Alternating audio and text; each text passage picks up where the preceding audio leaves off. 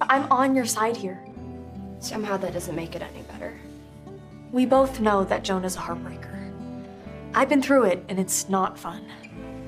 All I'm saying is, if you need a shoulder, and you will,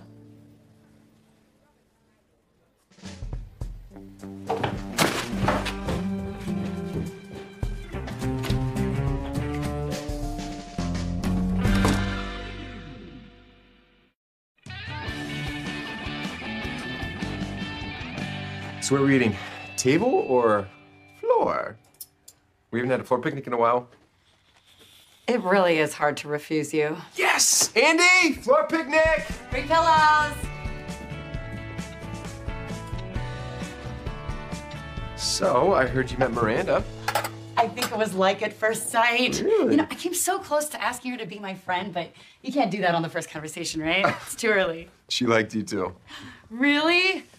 What are you so happy about? What are you so unhappy about? I asked you first. I made a friend today. Everybody's making friends.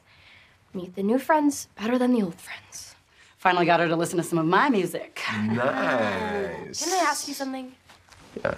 What exactly does it mean when a guy says that a girl is just a friend? We saw Jonah at the spoon with a girl. Oh.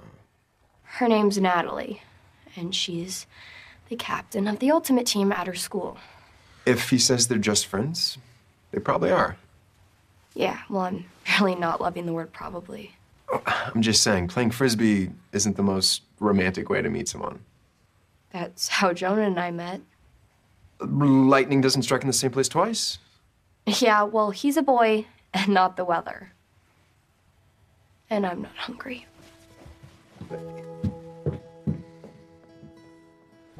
Why didn't you tell me? I'm sorry. I just never thought she. Want my opinion? Your opinion means a lot to her. I was gonna say, I never thought she'd let you see her embarrassed. I'll go talk to her. Uh, I got this.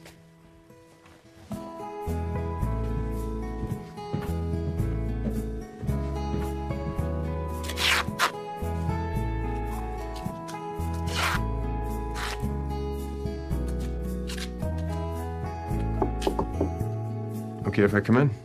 You're in.